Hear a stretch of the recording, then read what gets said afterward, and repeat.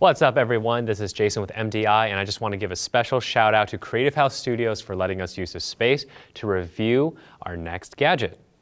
Today we are going to be looking at the CAME-TV wireless remote follow focusing system. Now as you can see it comes with quite a few things. You get yourself a nice Pelican style hard case to keep everything nice and tidy. Right here we have the actual uh, wireless motor system and we also have the remote for your focus puller. They give you an assortment of gears. You get an extra 0.8 pitch. Then we also have some different ones. We have a 1.0, a 0.6, and also a 0.5. Now over here we have two adapters for 15 millimeter rods, usually pretty common with indie filmmakers because the adapter lock on here is a 19 millimeter, which is more um, Hollywood standard, just about. Now, we also have a D-tap to power the motor. And then we also have a USB adapter, very standard, and that charges your wireless remote. Now, there are two things that you're going to have to purchase to complete the kit. Now, chances are if you were buying this thing, you already have a rod support system under your camera so that you can actually hook the wireless follow focus motor to it. And then the second thing is, is you're going to need a battery because unfortunately the motor inside here does not have its own built-in battery solution. You're going to need to purchase some kind of external one that gives you a D-tap out. Now this is the ikan IBS U65 and what you get is you get a nice little D-tap under this rubber flap which then connects to this cord which then connects to this uh, port here to power on your wireless remote. As you can see back here, we have something very similar to a Sony NP-F battery. So if you already have a mount of some kind on your shoulder rig, you can just slide that in, it'll be fine.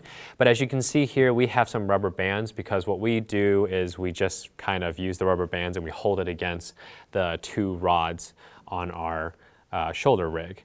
And as we're gonna demonstrate here in a second, um, we also were able to successfully balance the whole system on a Moza original gimbal, and it required us to use rubber bands to make it happen. So without further ado, let's show you how this works. So once you've set up your wireless follow focusing system to your rig, the first thing you're going to do is you're going to calibrate to the lens. And that is one of the awesome features of this wireless remote system, is that you can actually calibrate to a specific lens.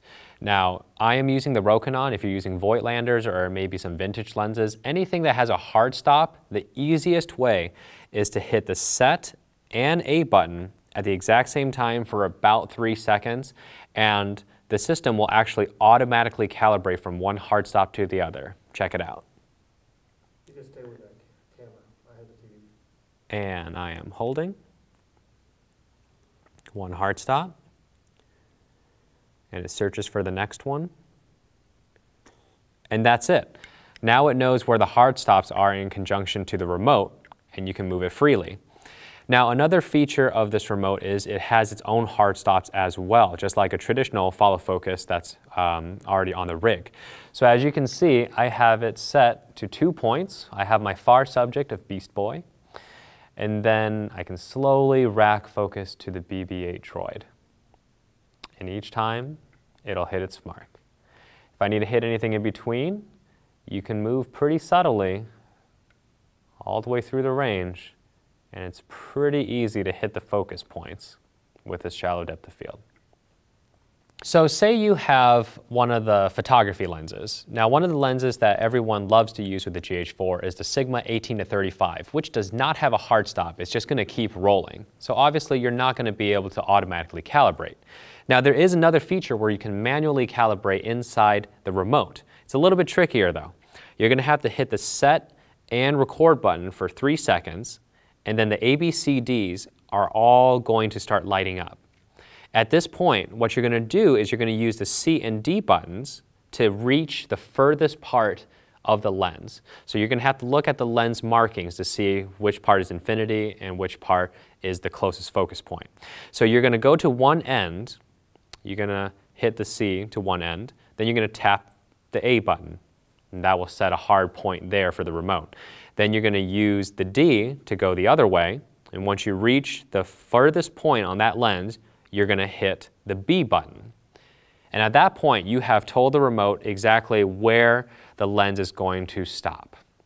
And that is how you manually calibrate to a photography lens. Should you forget any of these steps, a cool thing is, is that all the instructions are printed on the back of the remote.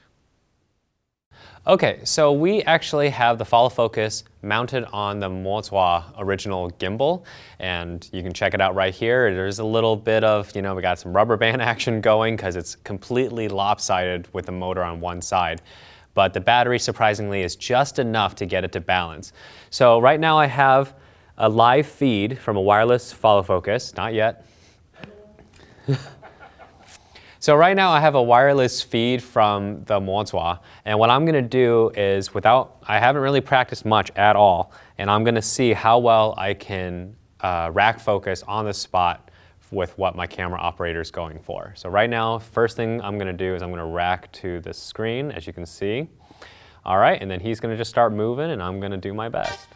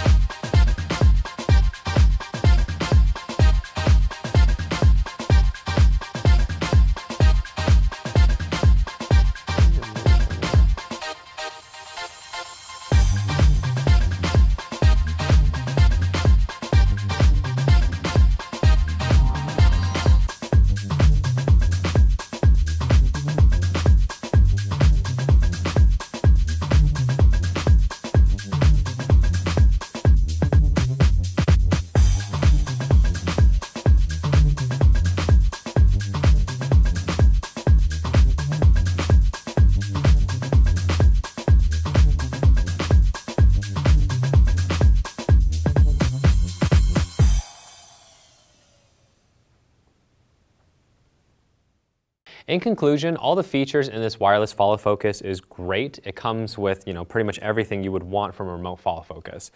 Being able to calibrate from lens to lens is definitely good because you don't want to damage any of your manual lenses by cranking it past its hard stops. So it doing it automatically is awesome.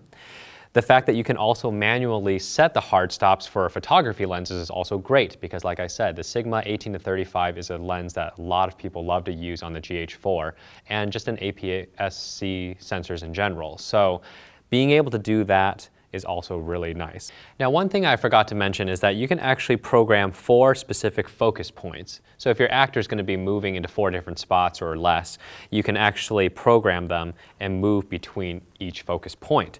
There's also a little speed knob right here to see how fast you want it to move from focus point to focus point. Now there are a couple quirks with this. Now one thing is, is obviously you have to connect a battery to the receiver, which is kind of cumbersome, especially if you're using it on a gimbal. As you can see here, we've got the battery rubber band to the back of the GH4. We had to take the eyepiece out and then you know, it pretty much makes it harder to just to mount the motor itself. However, the motor, again, is rather heavy and the weight is completely distributed off to the left or the right, depending on you know, which side you mount it, which also makes it harder for you to balance on a gimbal because you need a counterweight.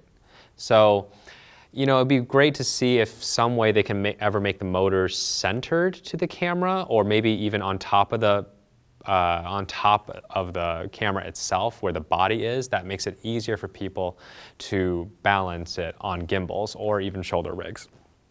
And one little tip that I will share when doing the follow focus on the fly was when you're moving this wheel, it seems, it doesn't give me enough drag, I feel. So I actually just took one of my fingers and placed it on the metal band or this magnetic band here that you can remove, which is awesome. You can wash it.